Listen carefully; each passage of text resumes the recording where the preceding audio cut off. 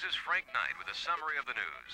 Another earthquake hit the northeast coast of Japan yesterday. The quake, measuring 7.3 in the Richter scale, was the second in four days and led to widespread damage. 24 people were reported dead, with scores of others said to be injured or missing. Fighting continues in Central America between guerrillas and government forces, and in the Middle East, terrorist gunmen attacked diplomats at three embassies. Two of the attacks were unsuccessful, but a third left four people wounded, one critically. The search continues today for a man who fled the First National Bank on foot Thursday after.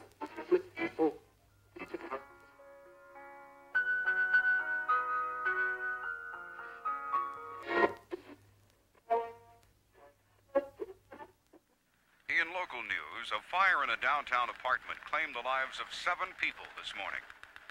Fire Chief Thomas Bailey said the cause has not yet been determined, but added there are reasons to suspect arson. This is the third such fire in the last two months, and both local authorities and citizens groups have expressed their concern. In other news, a federal grand jury had indicted former County Commissioner Harold Epps on two charges of fraud. Epps continues to maintain his innocence and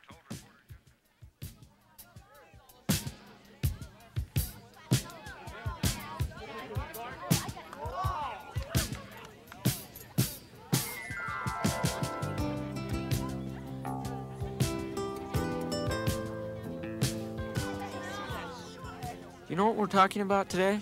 The book of Revelation still. Preparing for the last days. The last days. Who has time to worry about that? I'll be happy if I can make it through my chemistry final Thursday. I know what you mean. I've got five finals this week I'm worried about. Alan will read from Revelation chapter 16. The rest of you can follow along in your scriptures. And there were voices, and thunders, and lightnings. And there was a great earthquake, such as was not since men were upon the earth. Sounds like the news on the radio. And the great city was divided into three parts, and the cities of the nations fell. And every island fled away, and the mountains were not found. And there fell upon men a great hail out of heaven. And men blasphemed God because of the plague of the hail, for the plague thereof was exceeding great. Thank you, Alan. We have many images of the end of the world in our minds, don't we? And many questions about what the last days will really be like. For these, after all, are the days in which we're blessed to live. And sometimes they're good.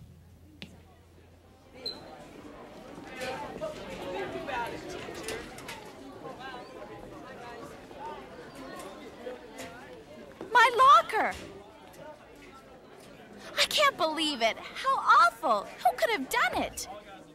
Is anything missing? My purse. It was up here behind my math book. Do you think you'll ever get it back? I doubt it.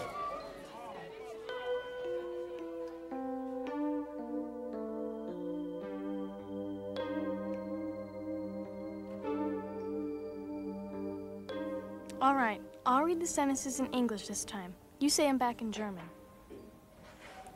At that time, he called me by my first name. Da half miles Nanta Ermik by Fornamen. Right. Try. It is your turn. Only four more days. I can't wait for school to be over. Yeah, me too. But after a couple weeks of vacation, I usually get bored and start missing everybody. It's your turn, remember? Sie sind. Sie sind. I can't do it, Janice.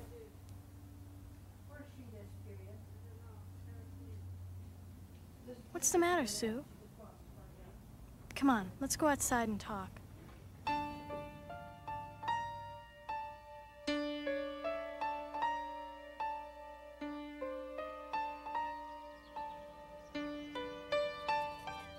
When did your dad leave home? He moved out last week. Filed for divorce. I didn't mean. I just wasn't gonna tell anybody. Well, I'm glad you did. I don't see how you could handle it alone.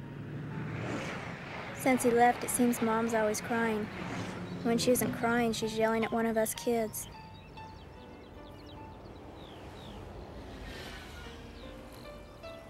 It's all right, Janice. I'll live through it. It's just. It's just pretty hard right now.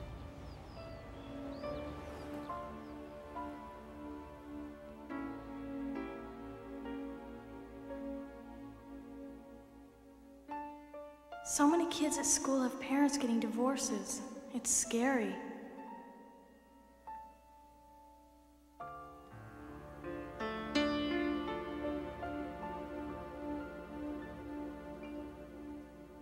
Can I borrow your dictionary? I need it for an English paper. I'll write your paper if you'll cut out these horrible articles for me. What are you doing? Clipping headlines for my current events project. Look at 'em.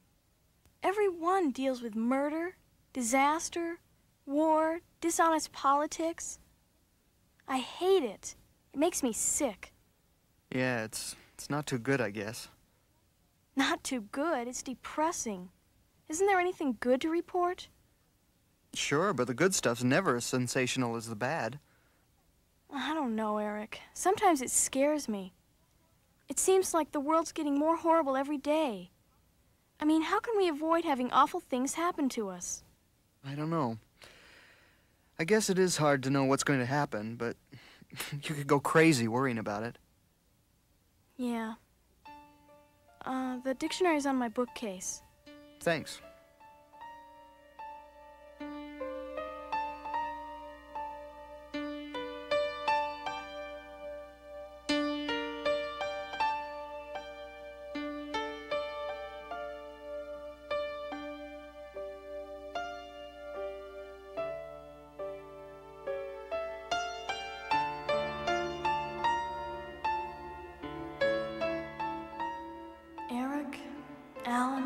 Julia, none of us knows what's going to happen to us.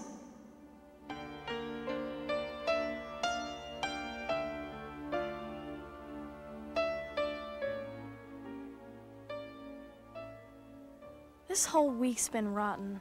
Oh? Yeah, it just seems like all I hear is bad news. Mm, I'm afraid I've got some more bad news. What's that? The Schaefer service station burned down last night.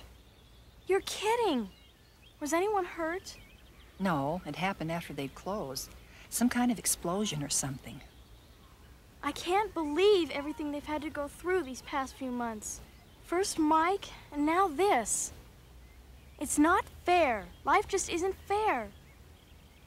It just seems like the whole world has gone crazy. Wars, people getting killed, divorces, stealing.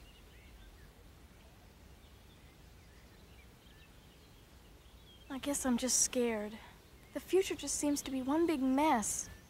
Oh, I remember feeling that same way, Janice. It got to a point where I couldn't even think about the future. It all seemed so impossible. When was that? Right after your father died. Oh.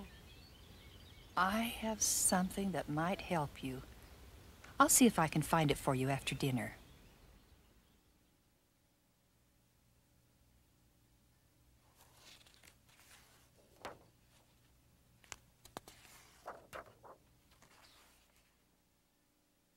Your journal?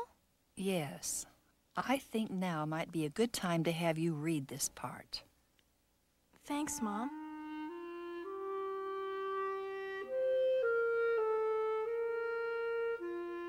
I can't sleep again tonight. I still can't believe that John was taken from us. How could God let it happen? Didn't he know how much I love John? Didn't he know how much I need him? How much we need him? And now what? What about Eric and Janice growing up in this mixed up world without a father? I'm so lonely. It was such a stupid accident. How could the Lord let it happen? What will I do now with no job and two children to raise who don't understand why this had to happen any more than I do? I've tried to understand, I really have. Oh God, why couldn't you have done something? Now we're left alone in a crazy, senseless world, and John not here to take care of us. How can that be right? There's so many decisions to be made. I can't even think about what's going to happen to us now. I won't think about it. How can I?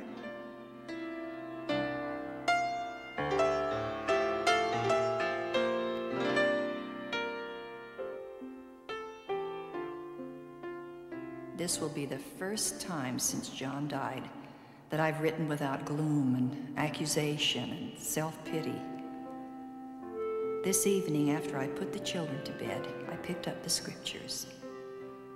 I was reading in the 21st chapter of Revelation about the promise of the millennium that former things would pass away, and there would be no more death, or sorrow, or crying, or pain. And I wondered, why couldn't I live then? John wouldn't have died and we would still be together. Began to feel sorry for myself again, and the old anger and despair started to return.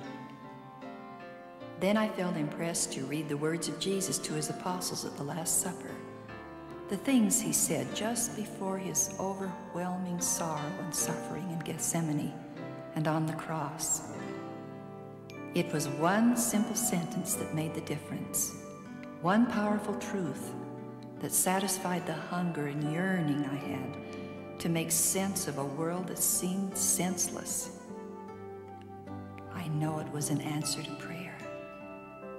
And as I read the last sentence in John 16th chapter, 33rd verse, over and over, I was filled with a calm, peaceful assurance about the future. How strange and wonderful that it could happen so suddenly. But I know now more strongly than I have ever known that even if today we are threatened by the darkness, the temptation, and the uncertainty of the world, we can rise above the world and its difficulties, and that tomorrow can be bright and glorious and good if we stay close to the Lord.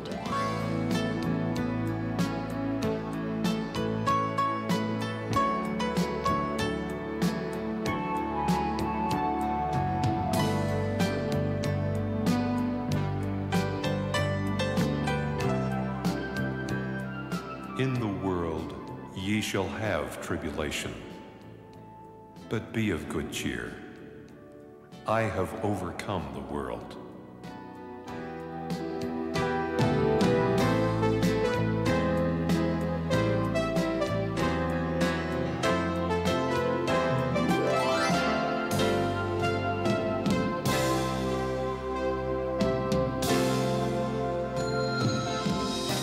But be of good cheer. I have overcome the world.